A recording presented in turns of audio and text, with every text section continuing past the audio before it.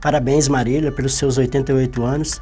Cheguei aqui há 25 anos, a, a, a, abracei Marília como a minha cidade e parabéns aos marilenses, que cada uma cidade que cada dia mais cresce.